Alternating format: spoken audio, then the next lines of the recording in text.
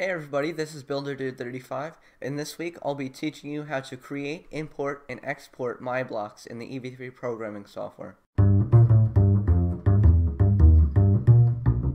Alright, so today I'm covering MyBlocks, and I have the EV3 programming environment open right here as you see, and I have this piece of code right here, and instead of having to write this out every time I want to reference it in the program, instead what we can do is we can use a my block to compress it into one block that we can place multiple places in the program. Now after you've saved it as a my block it's going to appear here in a block much like this, and you can drag it out wherever in the program that you want it to go, and it will always execute this piece of code wherever this block is placed. And I'll show you how to do that right now.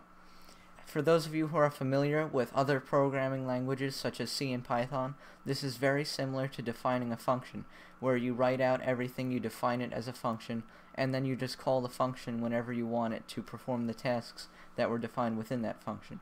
But anyway, getting back to EV3 programming, the first thing that you're going to do is drag your cursor over the entire uh, programming selection and make sure everything that you want to be put into the My block is highlighted. Next what you're going to do is going to the top left corner, go to Tools, My Block Builder, and it will come up with this little menu. You can name your block whatever you wish, and you might uh, want to add a little description. You can add an icon if you wish that will help you remember which block is which. And you can also add or edit parameters, which you don't need to worry about right now. We're just covering the very basics. After you have at least a name, you can click Finish, and the completed My Block is now going to show up in here, and you can drag it out into the program wherever you want it to go. The next cool thing that you can do with My Blocks is after you've created it in one project, what you can do is take that My Block and then export it out somewhere.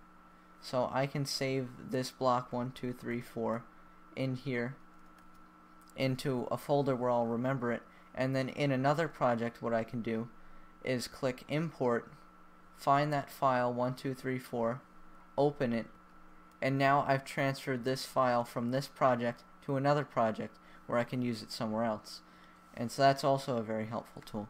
Thanks for watching my tutorial this week. If you found it helpful, be sure to subscribe for more tutorials like this every week, and if you have an idea for a tutorial, be sure to submit it in the comments section below. Thank you, and I'll see you next time. Bye.